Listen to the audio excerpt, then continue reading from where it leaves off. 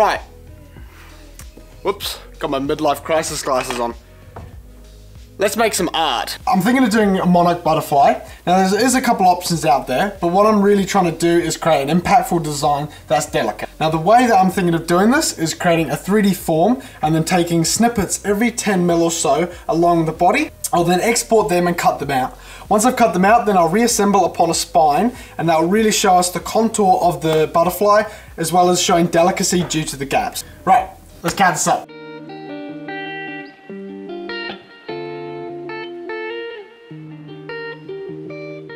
Right, so we're back from the computer. As you could tell, my blender skills are lacking. Uh, so what happened was I did attempt to make the butterfly form, uh, but then I reminded myself that I'm inadequate and had to contact my mate Tor. He's an amazing uh, modeler and designer, so he ended up making the form. So thanks so much Tor, amazing work like always. Right, let's cut it out in the plasma cutter. Hey, what you waiting for? You think I'm gonna do something funny again? Right, what I've done here is I've marked out a 500 mils. What I'll do is insert this little sieve. That's because I've got all the eyes and all the other small bits of the butterfly cutting out at this section. If I don't do this and to catch them, the bits will fall into the water tray and just disappear. Um, never to be seen again, really. So, uh, let's do that.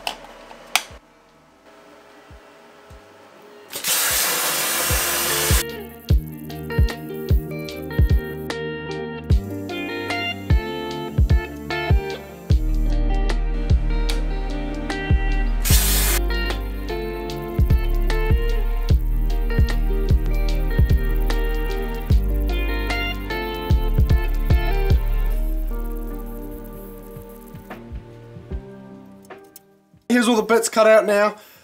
There is a bit of slag or dross on the bottom, so I like to clean up with a wire wheel. Now some of these bits, like the the first first couple, as well as the eyes, are too small to hold onto with uh, clamps, so I like to use a switching magnet, simply turning it on and hitting them with the wire wheel. Unfortunately, if you come at too much of an angle and catch the edge, especially with these smaller parts, they will leave the table at Mach 1 and you will never see them again. So, being careful, let's uh, wire wheel these out.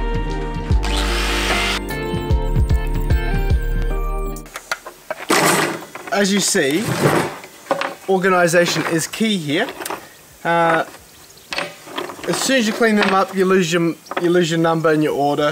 Having a nice little box here, keeping them in order, fantastic. It's not very fun trying to hold these up against your computer screen squinting to see if they actually line up and which number they correspond to. If you don't, you end up finishing the model, assembling, and then it looking a bit funny because the contours are way off. So, that's a wee hacky for you guys out there who's trying to follow along. Back to it.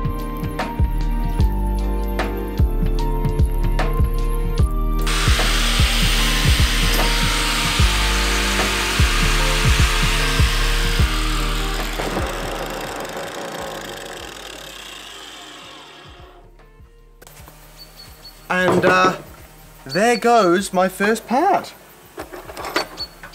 Am I now going to have a butterfly with only one antenna? Because the other one has just vanished.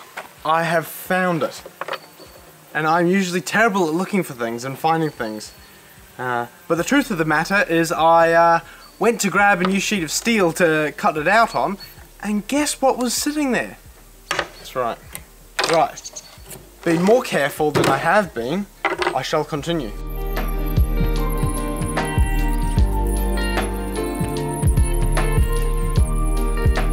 Safety tip.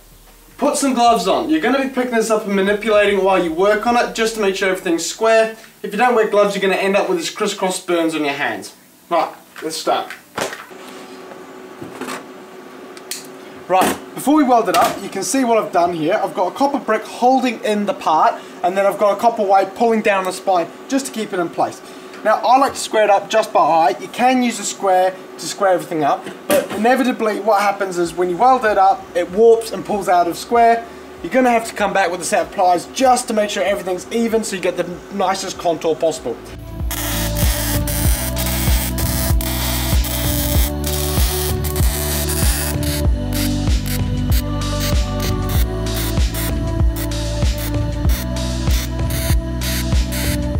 Right, we're going to weld up the eyes now.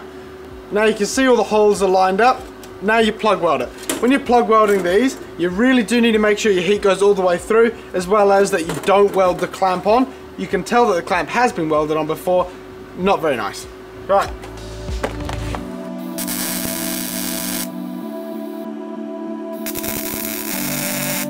in all the photos you'll look at a butterfly, especially a monarch butterfly, you'll see it has four legs. But in fact, it has six. But they're usually tucked up on the chest like this. So that's what we're gonna do.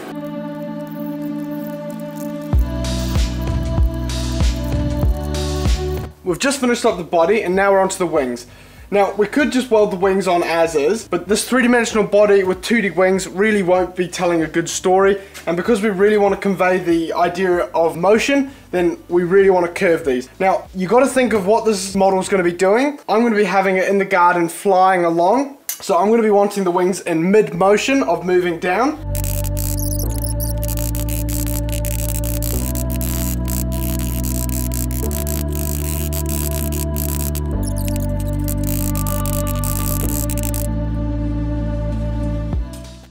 Now we're welding up the wings. Laying them out and having a look online just at reference images really gives you a good understanding of how and where to place your wings.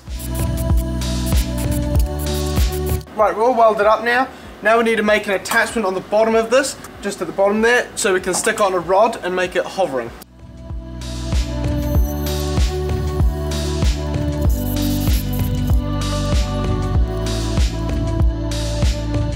Right, we're just mounting the nub to the butterfly. We've got to keep it square as well as keep the grub screw facing back or at least to an angle where we can access it with an Allen key.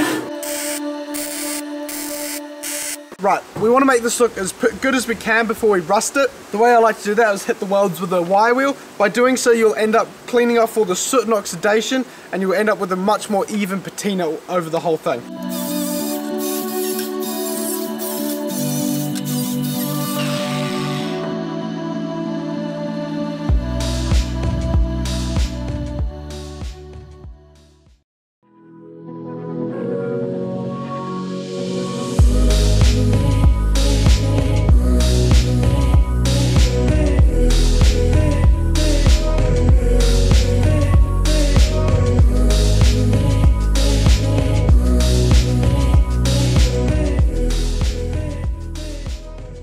Right, really happy with how the model came out. The curved wings really emulate motion, while the sliced body really shows off delicacy.